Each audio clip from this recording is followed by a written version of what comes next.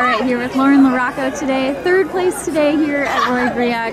Huge race for you. You were right behind Erin Finn. Um, how'd you feel today?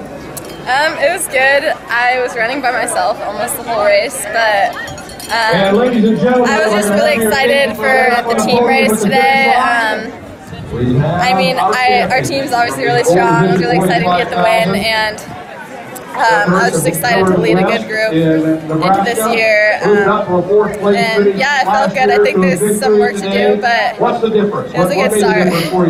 Yeah, it was quite a battle up front. I mean, you guys kind of all started together, quick first mile, Yeah. um, and then Brenna and Erin kind of pulled away.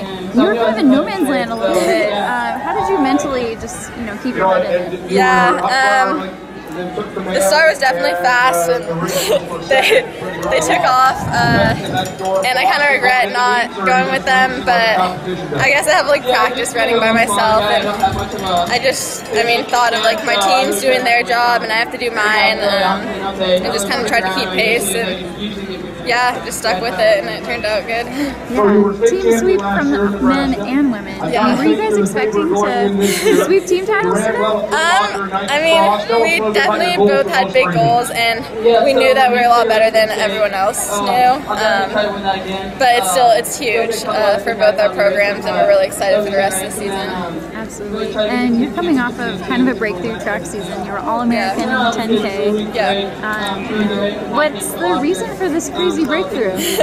I think it's just like freshman year is an adjustment, um, and then sophomore year I just kept getting stronger, and yeah, having success in the 10 and the 5 at NCAAs um, just gave me more confidence going into this season.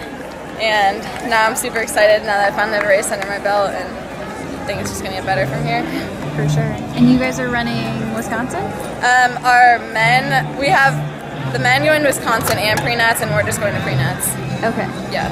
All right. What do you What are your goals there? Do you know? Um, I think just we're gonna keep doing what we've been doing. Um, yeah, like just compete hard and hopefully get similar results as today. yeah. Awesome. Great job. Thank you.